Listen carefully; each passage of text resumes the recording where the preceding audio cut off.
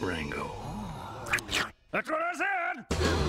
强尼戴普怎么演什么都这么像啊，连变色龙都可以诠释的这么到位，到底是怎么做到的呢？Crunchy, creamy cookie candy cupcake. 你没看错，平常大明星配音只要出声音就好。这次为了飙风雷哥，强尼戴普竟然在导演要求下，带着所有配音卡司从头到尾真的演给你看。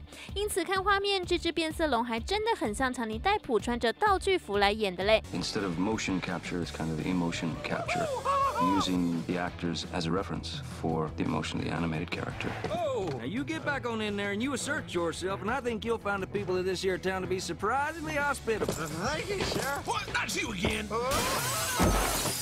I stand corrected. 看他演的这么带劲，想到他光是这次配音就拿了七百五十万美金的片酬，嗯，好吧，我们就不那么嫉妒了。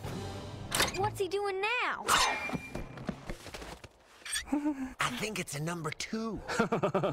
一点说瑞仪整理报道。